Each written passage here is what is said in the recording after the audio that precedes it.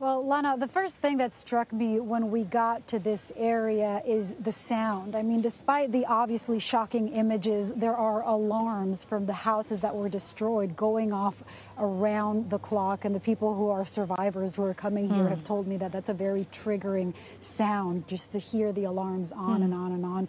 And behind me, I'm sure you can see some families of survivors from this area, from uh, this subdivision, looking for what remains.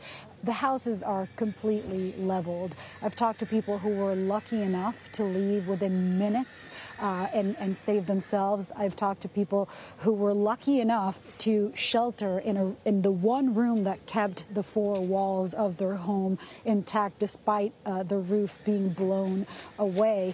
And uh, they've also talked about houses that they believe nobody made it because they they are mm. completely mm. destroyed. Uh, we know that here in Bowling Green, 11 people died. There's one more person from Warren County that had that died as well, so it's a total of a dozen so far. Authorities tell me this is still very much a rescue operation. It has not transitioned to recovery, and that there are at least 10 people that are still missing, and uh, they're just hard at work. I just saw uh, dozens of Navy sailors that are here working. We know that the National Guard was deployed, about uh, over 180 uh, National Guardsmen. So it's it's it's everyone from this community everyone that can access this neighborhood that doesn't live in this community is trying to help. I've seen neighbors uh, driving around offering water food, whatever people need, including containers where people can put whatever little items they can recover from their house. And that could be, I'm seeing a pair of shoes in front of me. Uh, there's toys, there's, there's all kinds of, you know, memories, photos, jewelry. Uh, people are trying to gather whatever they can, including Christmas presents. I talked to a woman who said, oh. I, you know, I'm suffering because I went shopping after uh, Black Friday for gifts for my grandkids, and she was able to recover a couple of them, but that was about it after they had their Christmas trees and their lights and their ornaments. And it's just so jarring to see those ornaments just scattered around this mess uh, of debris and, and rubble for some reason that makes it just particularly devastating, uh, these unusual December storms when people are supposed to be celebrating uh, family and the happiest time of year. Lilia, you told us uh, a little bit about the rescue efforts um, and, uh, and the understanding that they are still looking for people who might be trapped. Can you tell us, since you've been there, since operations restarted this morning, have they been able to successfully pull anyone out of the rubble? I am not aware that they've been able to pull anyone this morning. I do know that there's at least 10 people, but certainly more that are missing. Of course, there's you know issues of communication, and one of the things I'm thinking about standing here is I'm freezing. My my hands are freezing. I can't imagine what it must be like to be in this cold, trapped uh, under the rubble. I mean, I can't imagine that people have a lot of time uh, to get to this. I also talked to a neighbor, and of course, neighbors neighbors also coming together to a man who had a recent knee surgery. Uh, he's 55 years old but has a hard time walking. He walks with a cane. He survived the tornado in his home, and the moment it passed, he could hear children. So he rushed across the street to, to protect and save a family of four. He says, I was able to save the mother and a child and a small child, but I, I don't know about the other two people who live in the house. I hope they made it and that they're okay. We also do know for a fact that among the 11 dead in this town of Bowling Green, there are children.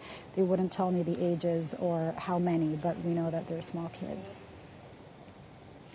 Uh, Lilia, as you're talking about uh, the survivors there and the cold, um, I'm thinking about the interviews that I've that I've had with uh, various local leaders and, and state leaders um, who have talked about how they've been opening their doors for people whose homes were destroyed in the storms. But, um, you know, as I'm looking at, at that wreckage, it's obvious that it's going to take a very long time for those homes to be rebuilt. What are the long term plans uh, for providing shelter for people um, and something more than just in, in temporary uh, gymnasiums, et cetera? Are there coordinated state effort levels, federal effort levels now? Can you tell us more about that?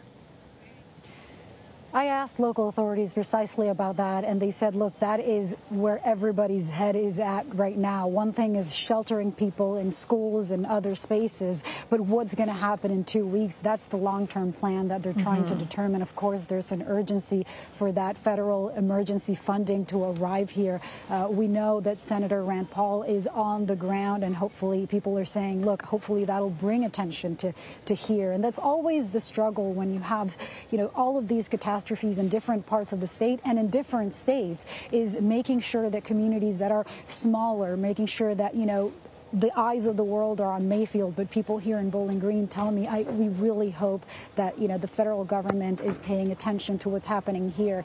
There are hundreds of homes that have been destroyed, and this is not fixing you know a window or a room. This is, right. I mean, I'm looking at a house right now that has what looks like a semi right in front of it. It's, it, I guess it's a moving truck, but it's just so jarring to see the devastation, the amount of force that those tornadoes had that are able to lift something like that you know, off the ground and land it in, on a home. Uh, so it's it's going to take a long time. I mean, I know from covering wildfires that, of course, you know, SBA and FEMA come and, you know, there might be plans for uh, trailers or trucks or, or, who knows, you know, loans.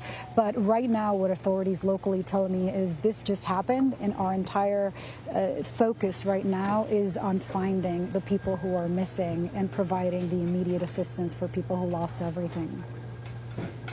Yeah, we're going to continue to hope that that more people are found uh, alive. Lily, uh, thank you for showing us all the humanity that you're witnessing there in Kentucky. I want to bring in now Bernadette Woods Placky, Chief Meteorologist and Climate Matters Program Director at Climate Central. Bernadette, welcome. So, more than two dozen tornadoes touched down across six states. Give us some background on how these tornadoes formed. Well, thanks for having me.